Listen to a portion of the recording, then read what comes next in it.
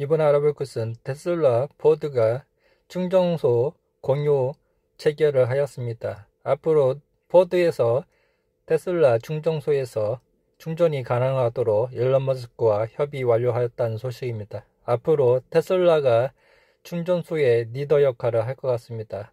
100년 역사에 포드가 테슬라의 충전소를 의존하는 상태가 벌어졌습니다. 엄청난 사건입니다.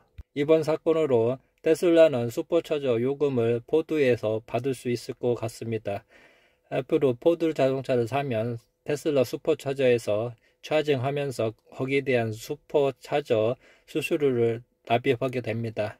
이로써 테슬라 EPS 향상에 크게 기여할 것 같습니다.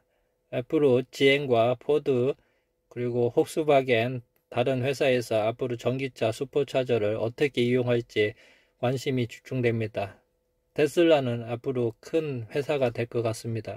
이번에 알아볼 것은 테슬라 모델 Y가 2023년 1사분기에 베스트셀러 1위가 되었습니다. 26만 7천대로 압도적으로 1위입니다. 앞으로 2023년 전 차종의 베스트셀러가 모델 Y가 될 것 같습니다. 테슬라 모델 Y는 앞으로 전 세계 1위 차가 될 것 같습니다. 일론 머스크가 모델 Y 첫 인도식에서 모델 Y는 전 세계 1위 차가 될 거라고 선포하였는데 벌써 1위가 되었습니다. 앞으로 모델 Y 플러스 테슬라 차가 전 세계 1위 차가 될 날이 멀지 않은 것 같습니다. 테슬라는 압도적으로 전기차 1위 회사로서 가수인 포함 전 세계 1위 차가 되는 것 같습니다. 엄청납니다. 이번에 알아볼 것은 미국 상원 하원이 주말을 통해서 합의를 봤다는 이야기입니다. 최근 디폴트 우려로 미국 주식이 많이 빠지고 있었는데 이번 합의로 선물 시장에서 폭등하고 있습니다. 앞으로 미국 시장이 강세할 것 같습니다. 벌써 빅테크 위주로 전고점을 뚫은 회사가 있고 앞으로 점진적으로 빅테크 위주로 상승을 주도할 것 같습니다. 이번 것은 테슬라 CEO 일론 머스크가 3년 만에 중국을 방문한다는 이야기입니다. 이번엔 방문으로서 중국에 엄청난 호재가 작용할 것 같습니다. 중국에서 FCT 베타를 배포한다. 그리고 새로운 공장을 마련한다. 여러 가지 소문이 있지만 이번 방문으로서 여러 가지를 결정할 것 같습니다.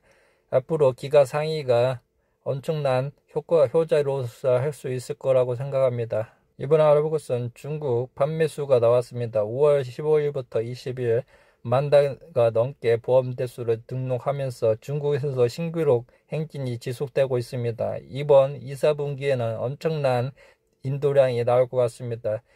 테슬라 주가 폭등하기 전에 분할 배수로 접근하시기 바랍니다. 테슬라 리크가 테슬라 2, 4분기 인도 예측치를 발표하였습니다. 기존 43만 4천 대에서 43만 7천 대로 상승시켰습니다. 애널리스트 컨센서스는 43만 6천 대로 앞으로 더 계속적으로 증가할 것 같습니다.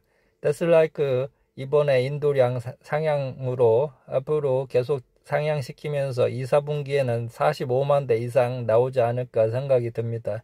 테슬라 인도량 발표일 전까지 분할 매수로 접근하시고 테슬라 인도량은 점진적으로 증가할 겁니다. 조만간 50만 대를 돌파하면 테슬라는 엄청난 호재입니다.